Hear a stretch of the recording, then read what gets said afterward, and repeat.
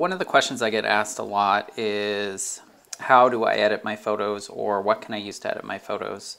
And the number one answer that I usually give people is Lightroom or Photoshop. Those are the two staples of what I use to edit my photos. But a lot of people may just be getting into photography and they may not want to purchase the Photoshop license or the Lightroom license.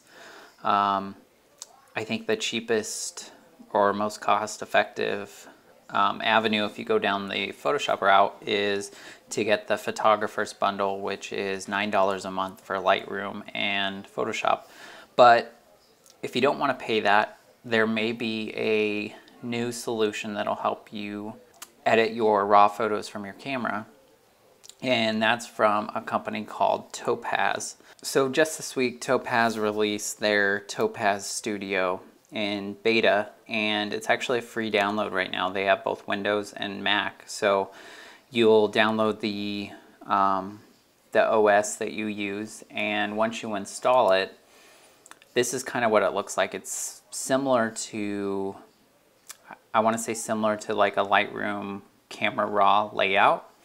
And what it allows you to do is go through and edit your photos for color and things like that. I don't think that you can do cloning and things of that nature that you would do in Photoshop, but if you think of this as kind of a Lightroom replacement, and it actually, it, from what I've seen, it, it has some pretty cool features that I'll walk through really fast with you. So this is a photo that I briefly retouched while I was um, messing around with the software. I just downloaded it, so I don't know all the ins and outs, but I wanted to share with you some things that I learned and some things that you might find useful. So um, up here in the top, if we click on this, it has a before and after. So you can see some of the changes that I did. And you can change the view. You can also click and see what your original is versus the retouch and then over here is basically everything that I did to the photo. So if you think about this in similar to Photoshop where you have layers that build upon each other and then the thing that this has that's pretty cool is it has different options to mask within each of those adjustments. So let me click on this shot here.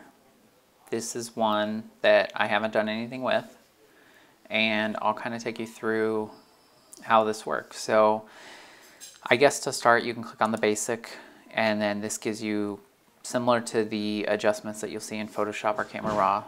You have adjusting the exposure, clarity, shadows, temperature, all of that stuff. What this has that's cool is you can click on this button here and you can apply a mask to this.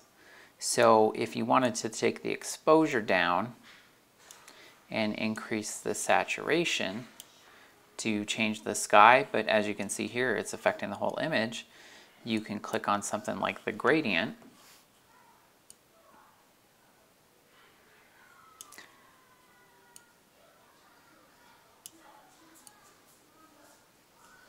And over here you can see your mask. So it's similar to Photoshop. So the black is hiding, the white is not. So right now, this is affecting the bottom and not the top, so we want to invert that. So now if you go back to this, the eyeball, you can see what we just did. So we made the sky um, darker and we increased the saturation. And then the other cool thing that this has is, let's go in here and make a little bit more dramatic so we can really see what this does.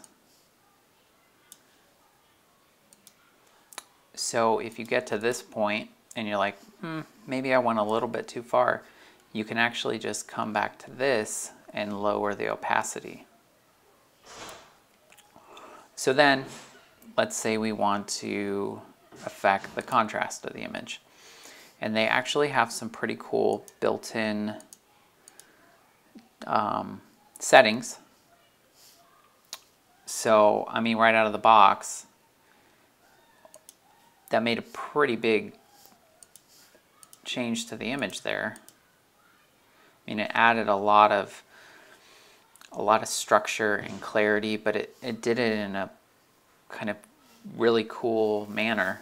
But maybe that's too much for what you're looking for. So again, you can just go in here and you can just bring that back. So then it's a subtle change instead of instead of it being at 100%, you bring it back to 50%, and instead of looking way over the top, it looks more normal, but it accentuates the photo. So then you can go through some more, and they have different, just some different options. If you have one that you don't like, you can just hit delete. So same thing, tone or tone curves. So this is basically the same as what you see in Photoshop with curves. So if we go into here, let's make a mask and let's brush this one.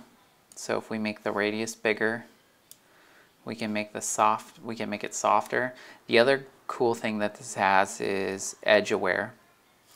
So what that does is as you're painting,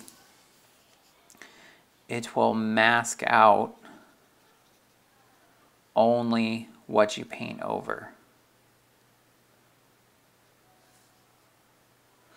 So let me paint on here really fast. We're going to make this ground a little bit darker.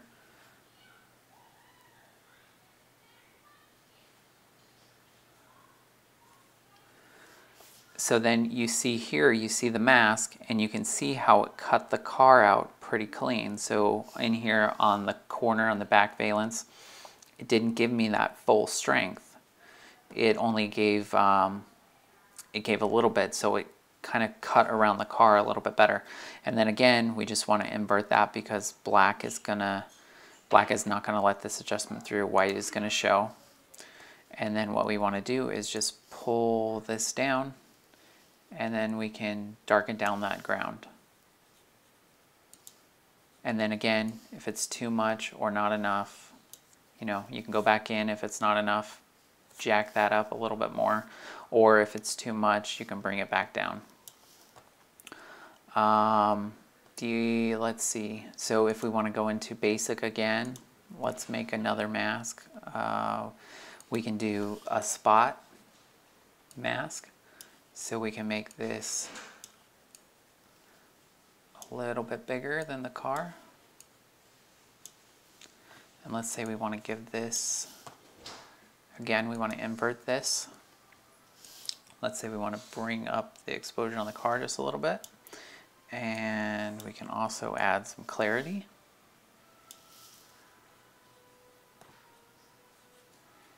And then over here, I found that they have some, I guess, kind of presets built in. So if you want to do a vignette, you can go and uh, vignette you can target where the center of the vignette is going to be. So we want to kind of put it on that back, back bumper, I believe, maybe...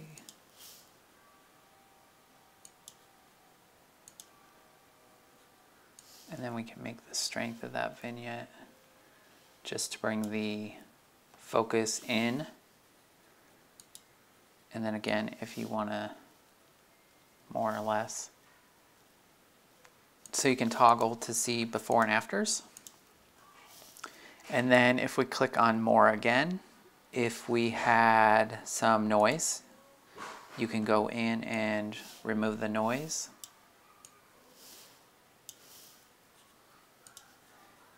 And then you go in and let's sharpen it. Just raise up the strength a little bit.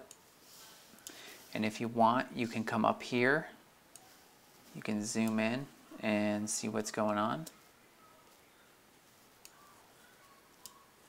And that's kind of a cool feature if you hold down the spacebar.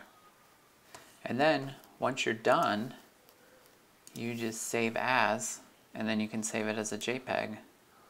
I think if you're looking for, at least right now, I don't know if the plan is to keep this for free, but for the time being, I mean, go check it out. I'll put the um, download link in the description below, and uh, give it a shot. I think you'll, I think you'll like what they've done with this software. It's um, pretty intuitive if you've used Lightroom or Camera Raw from Photoshop.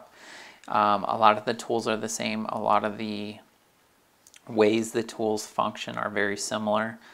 Um, but you have some cool things that you don't necessarily have in those tools, like the um, precision contrast control with those presets, or you can even go in there and mess around yourself. And then the other good thing that this has is with the basic adjustments, how you can build on top of each other and lower those opacities back without going in and adjusting all of the points. So I think it's going to be a pretty powerful tool. And like I said, if you're looking for a free editor right now while they're in beta test mode, I mean, go give it a look.